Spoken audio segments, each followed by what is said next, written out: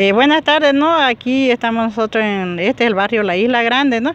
Este, nuestra preocupación fue, ¿no? De aquí, de los vecinos que estaban reunidos, yo me vine y como soy de una de la mesa directiva, vine a preguntar qué pasaba, ya me habían hecho saber que estaban entrando volquetas, ¿no? Así que bueno, ya vine yo de ver a las mamás acá y los niños que utilizan este pedazo, ¿no? Como canchita.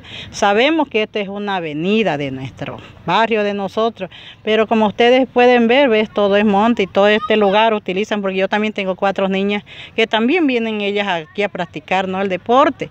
Como no parece que no tenemos autoridad, quien se acuerde de nuestros niños de la isla grande, hay una cancha grande, pero eso siempre lo mezquinan. Así que los niños se han preparado esta cancha en esta avenida, en la avenida aquí de nuestros barrios, ¿no? Para todas las tardes hacer sus deportes. Y justamente ya bueno, ha venido un señor, no le sé su nombre, ¿no? Y ya Ah, dice que los vecinos le dijeron que no utilice este pedazo para pasar con su volqueta por aquí porque lo iba a arruinar, pero no ha hecho caso. Y hay calle por donde hayan entrado. Bueno, ya yo vine, hablé también con el dueño y él dijo que había ido a la alcaldía y le habían dicho que esto era una avenida. Así que ellos podían utilizar, pero yo creo que nosotros como los niños más que todo merecen respeto y las mamás también de acá nosotros merecemos, no si es avenida, pero si lo mantienen limpio no debían atropellarlo así.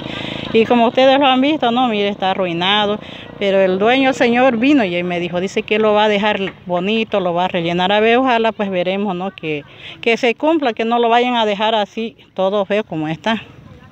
Bueno, pues tomando en cuenta que también este, seguramente faltan áreas verdes para esparcimiento de los niños, ¿ustedes no, han ubicado algún otro lugar donde puedan eh, hacer deporte los niños cerca de acá? No, no hay, ya casi ya nosotros aquí en la Isla Grande no tenemos ya áreas verdes para... Había más abajo acá, pero el río se lo ha llevado y hemos buscado otro lado, pero también están loteados. Hay casas donde se podía, ¿no? Hacer una pequeña cancha.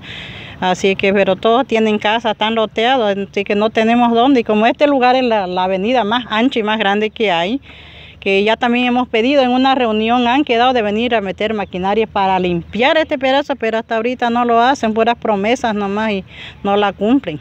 ¿A jugar aquí en la Sí, vienen todas las tardes, están jugando ellos, ahorita no, no se han aparecido por este motivo, y mire que están arruinando nuestra nuestra calle no, pero aquí practican los niños, le digo, todas las tardes usted viene y le digo, están jugando, hay hasta jóvenes, hasta adultos, hay veces estamos aquí, le digo, jugando pelota, ¿no?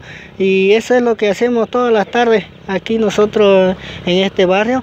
Pero soy de aquí, de este barrio, no, pero no soy nada de mesa directiva, pero estoy aquí, digamos, estoy como, como me gusta el deporte igual.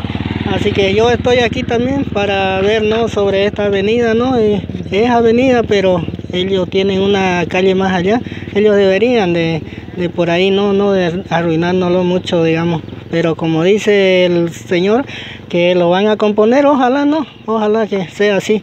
Ojalá que nos lo compongan para que así sigamos practicando, ¿no?